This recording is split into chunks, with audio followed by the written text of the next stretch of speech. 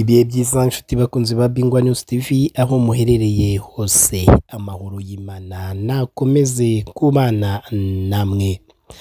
Uyu munsi turi tariki makumyabiri n'esheshatu ukwezi ni ukwa munane umwaka w'ibihumbi bibiri na makumyabiri na gatatu icyo usabwa ni ugukora subscribe ugakora share ugakora na like kugira ngo ujye wakira ibiganiro byacu bya buri munsi.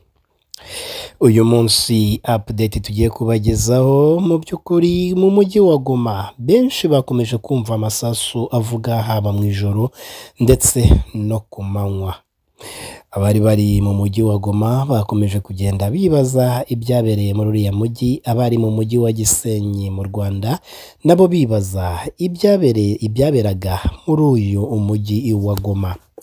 Aya masasu rero yavugiraga he? Aya masasu yavugiraga ahitwa majengo ni mu mujyi wa goma ariko uzamutse za virunga hejuru aho abazalendo abo bita abarebere bari bakamejeje mu kukameza rero baje gukubitana n'inzego z'umutekano barangije bagarikamo umwe. N'ifoto twayibonye ariko nidushyiraho amafoto y'imirambo.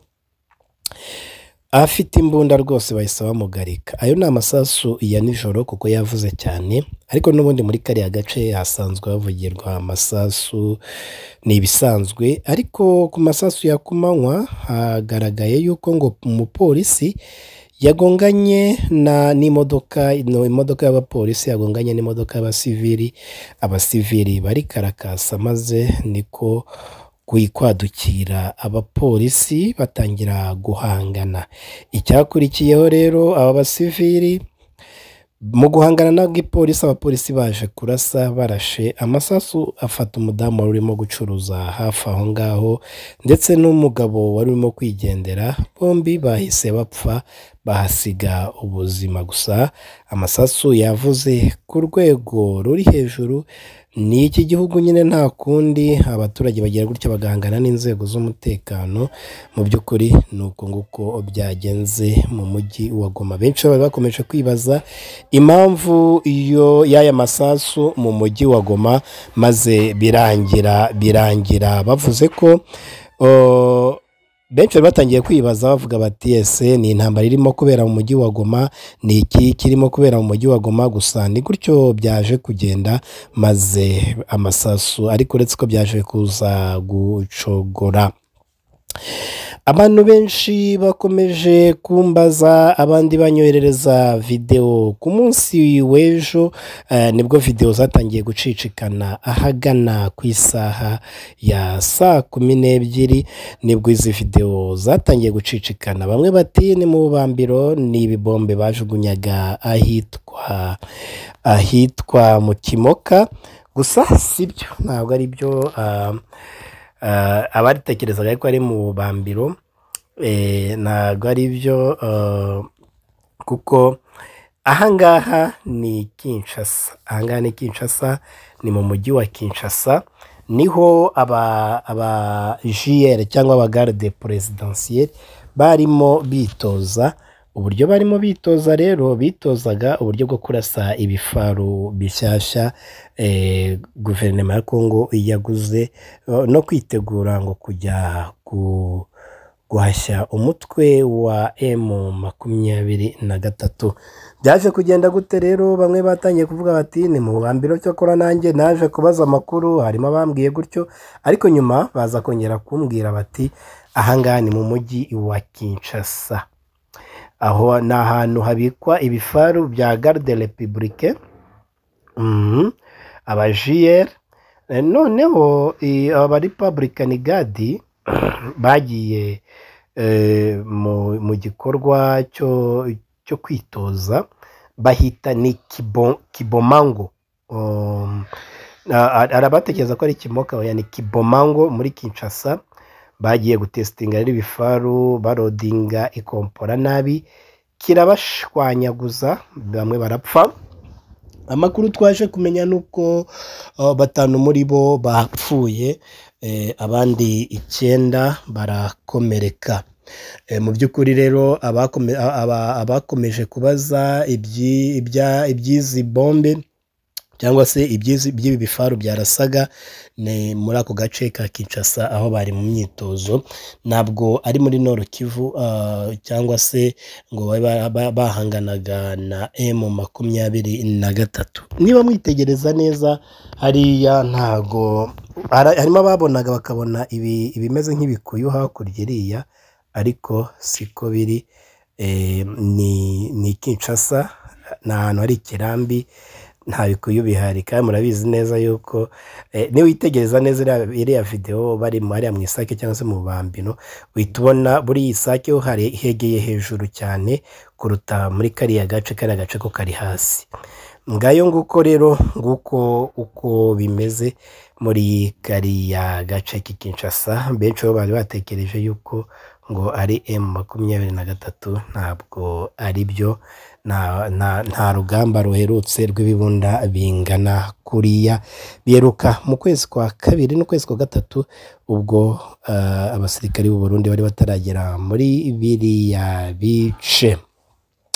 Turacyakomeje rero na apudetsi hirya no hino ah, ah, muri kicanga ibintu bimeze neza gusa. Uyu munsi eh, ahantu bita imweso mu muhanda hagaragaye abamayimayi benshi bafite ibikoresho eh, ni bariya bo kwa ba karayire na ba domi n'abandi bari kugenda mu muhanda aho bamwe batekerezaga bavuga bati abangaba bashobora kuba hagati ya mweso na kicanga bashobora kuba bagiye gutera gusa byarangiye bigenderaga uretse ko n'ubundi harimo kwitegura ari kwitegura intambara.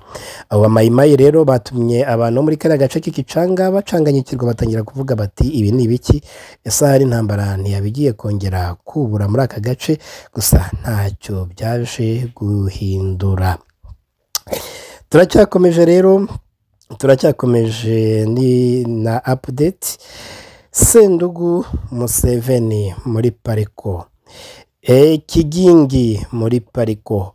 Ubushize ni bwo twababwiraga yuko sendugu museveni e, yashwanye na kigingi ariko biturutse ku itegeko rya generali mugabo avuga ati kigingi irukana sendugu museveni. Uyu munsi rero babandi batubwira bati ibintu muvuga ni ukuri koko aba ari ukuri. Tumaze ukwezi tubivuga yuko hagati ya kigingi kigingi kigingi murabyibuka yuko ari ari we ngo ari wabaye shefu deta majoro wa pareko wa pariko ya, ya, ya, ya museveni. Ubwo rero museveni baje kumwambura ububasha kigingi aba ari ukaba ahita ayobora icyo cyama cya pareko. Uyu munsi rero bateranye amagambo ku rwego rwo hejuru tuza no kuza kuyabashyiriraho ku buryo abantu bose bahise bavuga bati ahangaha nta kinyabupfura kirimo. Cyakora wabonaga kigingi afitemo ikinyabupfura yari yifitemo ikinyabupfura ariko sendugu museveni akomeje kugaragaza indisipurine cyangwa se akomeje kugaragaza ubushumba bwinshi ku buryo abantu bose bahise bamugaya baravuga bati mu myaka yawe ntabwo wari ukwiriye kuba uvuga ibigambo nk'ibyo. Ibyo rero videwo turaza kuyibashyiriraho namwe mwiyumvire mu by'ukuri ibintu ntabwo byoroshye muri aka gace kuko sendugu museveni yatangiye kuvuga ko yageze mu mujyi wa goma.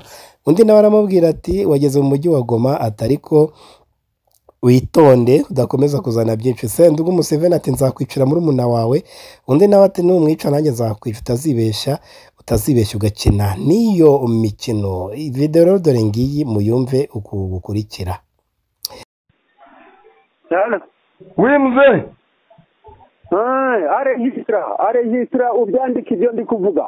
nje nanaye regisitira muze ntundi umupolisiye njewe ndi kugusaba kwihuza n'abantu Kwihuza na mugabo irambwa. Irambwa nzihuza nawe ibiki? eee ugenda amahoro Eh, ndagenda amahoro. Ibyo mwakoze ko mwageze iwanjye mwarambonye. Ubu ndi igoma turi kuvugana ndi igoma. igoma naho ndi waboneka pe bagufata Eh, ba- ngaho bamfata. Ba- ugiye kujya uranywera mu nzu rero natari n'iwawe Iyo kwa horomo. urebe Iyo kwa kure horomo. se ubasumbye umurimo usibye izo wanyaze muri ahepfo Oya nta nubwo tunganya imirima. wiyunge kuri pareko hakiri kare nimba udashaka gusubira mwa iranzara wavanye iriya kwa muventuro horomo uretse ko muri ibi byarirano n'imirima ntitunganya n'igoma ndi muri materiyo muri mu mbaho.